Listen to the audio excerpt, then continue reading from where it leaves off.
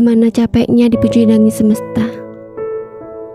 Hari-hari selalu datar bahkan terjal. Kita nggak pernah minta untuk ada di posisi ini. Tapi semesta mungkin beda pemikiran sama kita. Tuhan tahu kita kuat. Makanya jalan cerita kita tidak mudah. Sedikit dibumbui tangis, haru dan tawa. Biar cerita kita nggak monoton. Biar seru waktu diceritain ke anak-anak kita nantinya.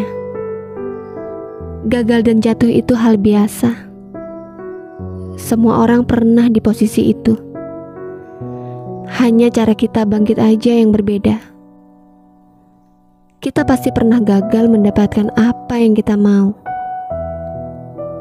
Tapi tanpa sadar, Perlahan hal itu ternyata tidak terlalu begitu penting buat kita.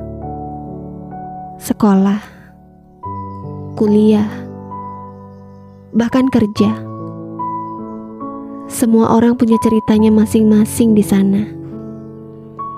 Tinggal gimana cara kita menertawakannya aja. Karena dipikirin malah jadi sakit sendiri. Kita cuma perlu duduk sebentar Enggak semuanya harus dikejar sekarang. Ada waktunya. Waktu untuk berjuang. Waktu untuk berusaha lebih keras lagi. Juga waktu untuk bercanda. Semesta juga butuh lelucon. Jangan terlalu ambisius lah. Nanti begitu semuanya luruh, kita akan terseduh tapi coba selalu pikirkan hal yang terburuknya dulu. Biar nanti saat semuanya gagal, kita tidak terlalu sakit. Kan kita udah tahu, akhir dari sebuah tujuan hanya ada dua. Pulang atau menang. Kalau semuanya sudah petang, jangan lupa pulang. Karena menang bukan hanya dari satu jalan, melainkan banyak caranya.